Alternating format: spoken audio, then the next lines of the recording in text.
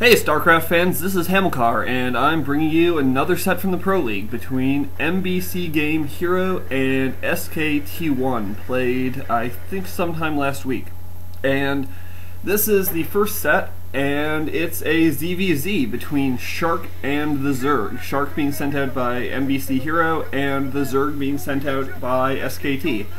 Uh, just uh, quickly a few sort of housekeeping notes before I get started the last set that I was doing, uh, as I as I posted in the in the description to the last video, I was about uh, halfway through an extremely long TVT, and my Audacity crashed, and I lost the audio, and I'm trying to recover it, and I may or may not uh, post the end of that set later on.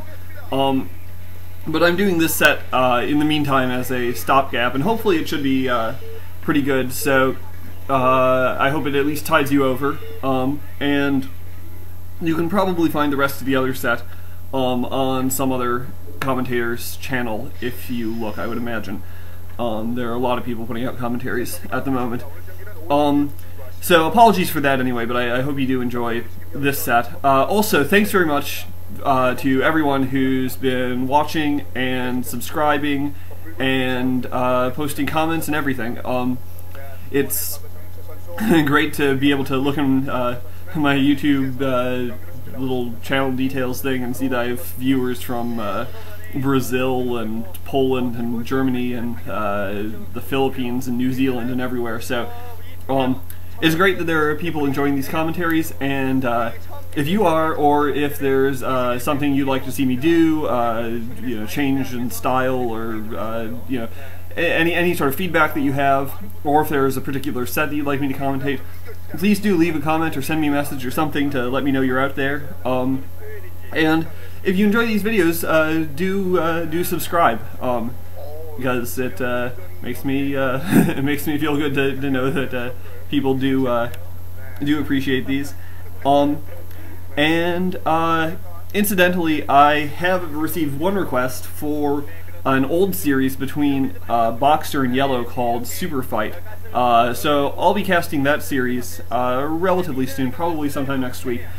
So uh, look forward to that, and if you have any other requests, let me know. Um, getting back to the game, uh, Shark is the white Zerg at the bottom left, and the Zerg is the red Zerg at the top left, and uh, I think this is the first ZVZ I've commentated, so we'll see how I do at that. A ZVZ is probably the most distinctive of all the matchups in StarCraft. It's it's uh, very short, very fast-paced, um, and in a lot of ways very predictable. Um, there are there are only uh, there are only a couple units that ever get produced. Basically, uh, ZVZs are all about mutas and zerglings and uh, and a lot of it's about about choice of build order. Um, both of the players seem to have gone for relatively similar build orders. I think uh, I think those are both nine pools into gas.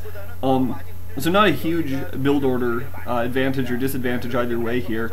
Um, but as you can see, uh, the Zerg has gone for a hatchery at uh, his natural, whereas shark is I, I, don't think has planted a hatchery down at all. So the shark uh, shark is probably going to uh, try to get out some early zerglings and put some pressure on.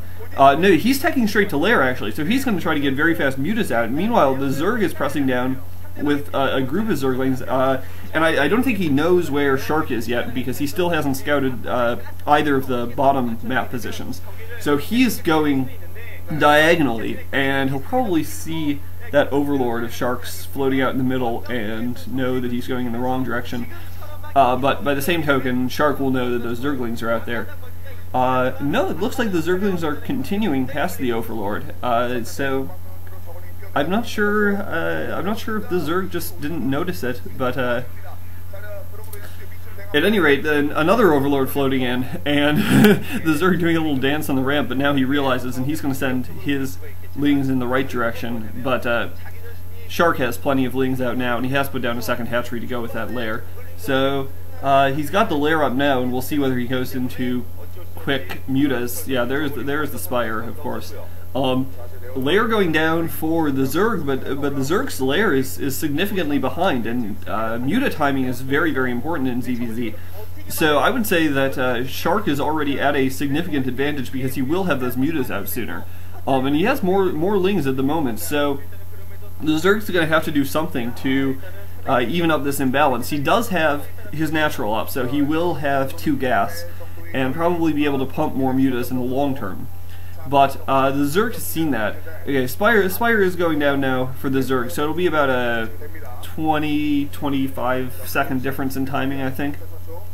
But uh, incidentally, neither of these players are real uh, titans of the game. Uh, the Zerg is uh, two and four, something like that, in, in Pro League so far this season, and uh, about 40% overall. Uh, the Shark is, is a little bit better, something like 45 or 47% career, and uh, similar in ZVZ. But both of these players are a little bit mediocre. The Zerg was, was supposed to be uh, the next big thing, or one of them, uh, last season, but he hasn't really panned out yet. Uh, Ling's pushing up. I think uh, it, it, looks like the Zerg has speed, and, and no, okay, Shark now does have speed too. Uh, Shark is going to try to run past and, and, get in there. Evolution Chamber and a Sunken Colony going down uh, to block those Zerglings. We'll see whether the Sunken gets up in time, though. Uh, the, Zerg is, uh, the Zerg is forced to pull drones, and here come the Lings. The Lings are going to barrel in and try to take down that Evolution Chamber. No, they're going around to the side. Two groups of Lings splitting up, and they're forcing the uh, the drones to retreat from that uh, from that natural. Now the now the Lings are all fighting, but it looks like the Zerg has an advantage in Zerglings, and he's going to force Shark to retreat. Shark took significant losses to his Zergling force there. Oh, and it looks like that's actually a spore colony. So, and another spore colony going down in the back of the Zerg's base. So he realizes that he's in trouble with this uh, early Mutaforce coming out for Shark, and he is going to get down static defenses, which you occasionally see in ZVZ. It's fairly rare because for the Zerg to build a sunken colony, they not only have to sink in the resources required to build the creep colony and then do the upgrade, but they also have to sacrifice a drone, and every drone counts in ZVZ. But uh, if uh, if it's the only way to ward off those early mutas, is what you have to do, and uh, the Zerg has gone in that direction. So now the Zerg does have mutas of his own out, and we're going to see uh, Muta's dancing back and forth, and probably ultimately a Muta battle, and Micro is going to decide who wins. Uh, planting down an extractor uh, outside the uh, main, he's going to try to distance mine Shark is from that hatchery. Oh, going in now, and he's going to try to pick off that sunken co spore colony, but uh, the Zerg's Mutas get back in time. And Shark does have a Muta advantage, but it's not going to be enough to counteract the presence of that spore colony. Now he's going to try to Oh, very clever. Picks off one drone uh, and forces others off gas. So Shark's been doing some pretty good harassment. Now a bunch of Zerglings pushing down for the Zerg, though, and we'll see what Shark has to hold it off. He only has five Zerglings at his ramp, and they're not uh, in a concave to hold the ramp very efficiently. Mutas are coming back, but a lot of Lings are able to get in. So we'll see if they're able to pick off some drones. If they are, that'll be uh, very bad for Shark. But uh, lots of Mutas back, they should be able to pick off the Zerglings without too much trouble and the last few Zerglings are falling back for the Zerg. So, uh, we'll see probably a transition to uh, just an air battle at this point. And at this point, uh, the Zerg does have a bit of an advantage because he is ahead on gas, and Shark's trying to mine, uh, distance mine that natural geyser, but it's going to be slower than than the Zerg's mining. The Zerg runs in with two Zerglings, and he's picked off one drone. Might pick off, does pick off a second, uh, and and this is wow, three more Zerglings coming in. This is not good for Shark. Uh, Shark's uh, lost lost two drones and quite a bit of mining time on gas, and that's something that uh, makes a big difference again in in this particular matchup. So.